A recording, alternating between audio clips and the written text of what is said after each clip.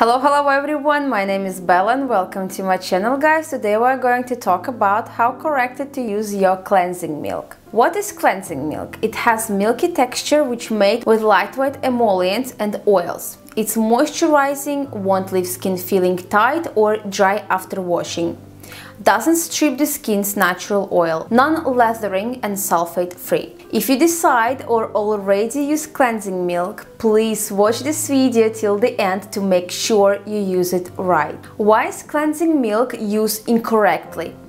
Because you are often misled by incorrect instructions on packaging and online cosmetic stores. I will read out for you some examples from instruction for the cleansing milk. I won't mention the names of the products, but they are quite famous. Let me read out uh, application instruction from one of the cleansing milk. So, application instruction. Moisten a cotton pad with product and gently cleanse your face and eyes. Use in the morning and evening. Doesn't require rinsing.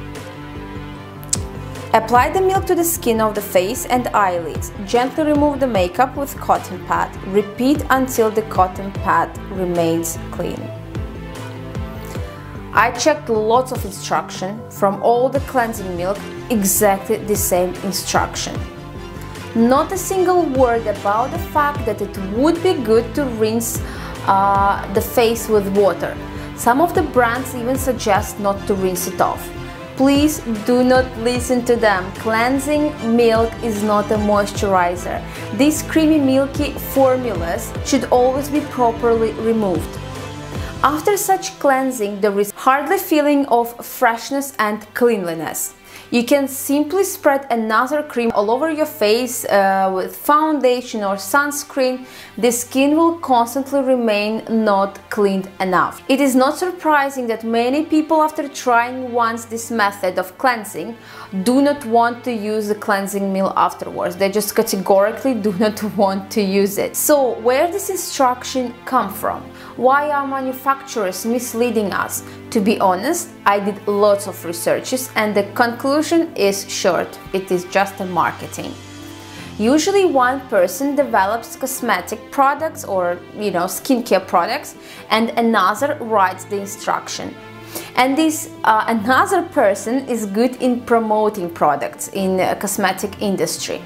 These type of products, which do not require rinsing, sell better. How to use cleansing milk correctly?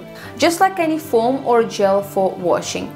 Apply the milk to your face, uh, wet your fingers with warm water, massage the skin for about a minute and rinse with water. I recommend that you moisten your fingers with warm water and massage your face. Milk cleans better and easily washed off with water.